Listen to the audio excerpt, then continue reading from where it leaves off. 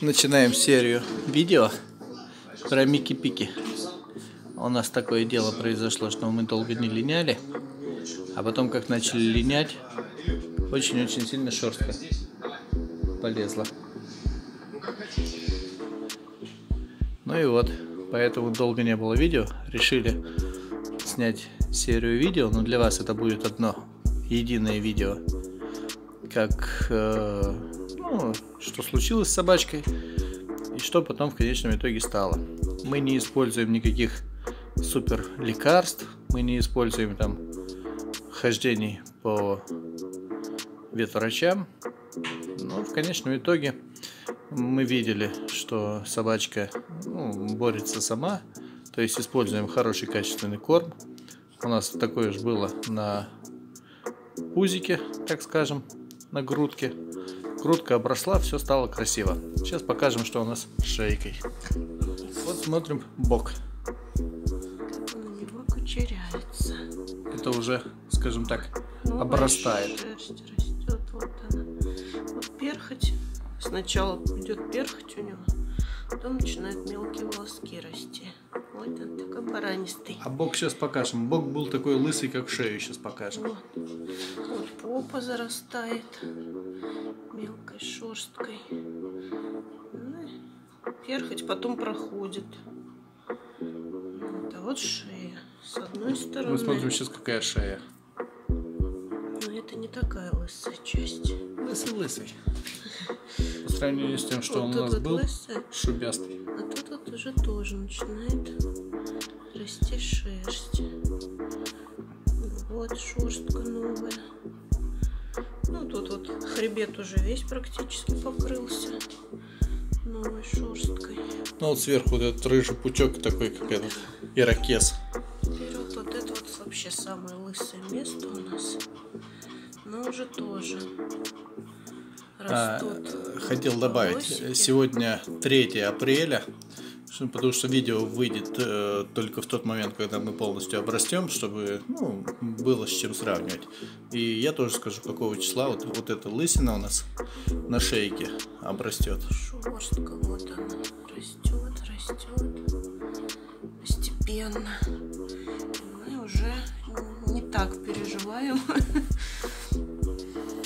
Есть э, блогеры в Ютубе, Вот, которые там всё таскают свою собачку туда вдоль и поперек, ко всем врачам, лечат, мажут. А, вот жопа у Вот нас еще лысая. Вот, вот это вот место лысое, а тут вот уже зарастает, все зарастает.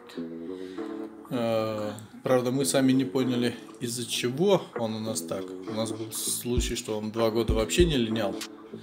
Был как валенок набитый. Потом мы его, грубо говоря, насильно вычесывали. Скажем так, каждый день. Сантиметров по 10 квадратных. Чтобы не замучить пса. Грудь тоже была лысая вся. Грудь лысая была, пузико было лысое. Да, ну вот она Сейчас еще продолжает расти. обрастать. Пузико было лысое, вот как мы показали шею. Покажи пузико. Вообще все заросло. Пузико описанное, но обросло. Это мы завтра А было вот как у курины, как курица общипанная. А сейчас вот пузико у нас вот такое хорошенькое. Такое обсиканное. Я скажу завтра. Я кобелек, я должен быть обсиканный. Также Хвостик хотел показать хвостик. тоже л- полысел. Ну вот они растут. Опять маленькие вот эти вот волосики обрастают. Ну, хвостик был очень пушистый. Сейчас наберем Сейчас я очень страшный. всю свою красоту. Отойди, я его издалека сфотаю. Очень страшненько. Вот такой мы, Макуся красотуся. Лысый мальчик. Все будет хорошо. Всем привет, привет. Вот мы какие игривые. Сегодня 16 мая. И мы продолжаем нашу серию видео, как мы полиняли, а можно сказать, как мы оздоровились. Облысели мы раньше, но мы сейчас набираем форму. А, а, Первая часть видео у нас была снята месяц назад. Сейчас прошел месяц. Мы сейчас покажем наш результат. Мы не использовали никаких супер-пупер медицинских препаратов для собак. Просто наша любовь, хороший корм, ну и забота о собачке. А, сейчас внимательно посмотрим а, в первой части видео мы посмотрим, как у нас была лысая попка, вообще лысый бачок.